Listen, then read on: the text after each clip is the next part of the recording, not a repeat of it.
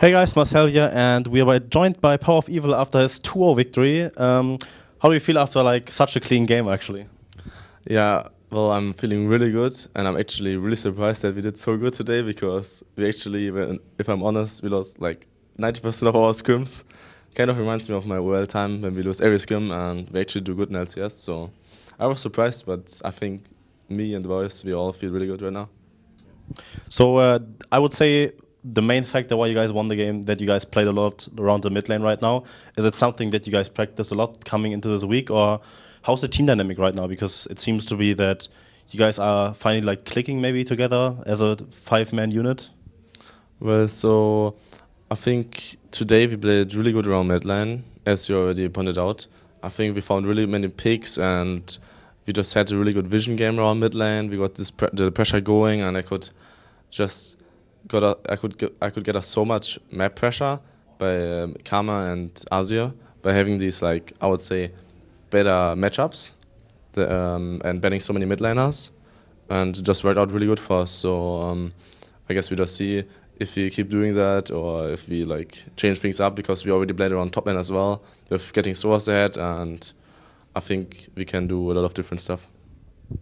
So obviously I think it has been actually an issue in the past when you were playing for them that you guys couldn't really try to find out how to play around mid, and then when Peke gets subbed in, five people are suddenly in the mid lane, right? So is it something that his presence in the game is actually being able to do this when he's playing AD carry still?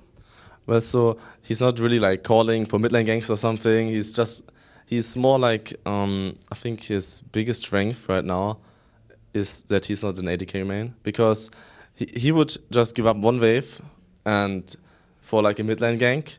Um, as example in the Ash game where we got first blood, he was um, just staying in the enemy jungle, losing kind of farming experience, but waiting waiting for the perfect moment because I called I can insec the Viktor, and we got this kill. Um, Viktor lost two three waves. We got a lot of mid lane chunk, and he got the first blood, so he didn't really lose anything in the end, and uh, this got us really ahead. And I think this is one of his biggest strengths that he's not greeding for farm, and he's like a really good team player. Yeah, I think um, Hybrid actually mentioned in one of the interviews that the team cohesion is a lot better with him than it actually is with Forgiven.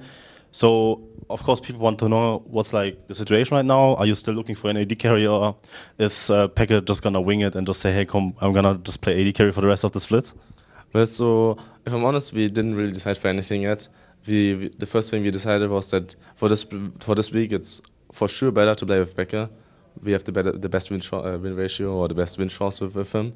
And for next weeks, I guess we are going to decide um, between do we pick up a substitute, do we keep playing with him in the meantime and kind of get the substitute going, or do we stay with him, or the last option is that he becomes the substitute and we get a starting AD carry, but we didn't decide for anything yet, and I think we're just we're still looking out for people. So uh, despite the, I would say, unfortunate situation with Peke subbing in, the whole team seems to be like a lot more, I think, motivated during the regular splits. Especially like Soaz and Amazing have like pretty good games so far. I mean, Amazing had a really good series in this game, and then Soaz has been performing really like probably your best performing player in the team for the whole split. Why is that? Do you think that the change in the team something like made them more motivated to win, or do they want to prove something maybe? I think it's hard to tell. I would say that um, the style of Soaz, like getting Olaf and Aurelion and Jax these champions back in, I think it's good for Soaz because I think he was a he was a fine, good tank player, but I think he's a better carry player actually. And as you know, he's playing since season one, so he knows how to split push correctly, and he knows how to do calls, and he knows how to like went to TP in, so I think this is one of his strengths to actually be able to split push and have, have these split pushers going. Okay, last question. Um, tomorrow you face Giants and Night is their mid laner. He has been looking pretty good from what we can see so far. How do you feel about going up against him? Do you maybe scrim against him or solo queue? What do you think of him as a player? So if I'm honest, I didn't play against him in scrims or in solo queue, but from his LCS experience, he played really good, and I think uh, even in the games they lost, he seemed like a really good player, uh, being able to map pressure while his team is losing. So we just need to prepare as we did for today, uh, look on his strengths and weaknesses, and do a good pick and ban, and I think we are good to go. All right, then you're good to go. Best of luck for tomorrow's game. And if you guys want to check out more stuff, we have them covered at thescoreesports.com. Make sure to check it out and see you guys next time.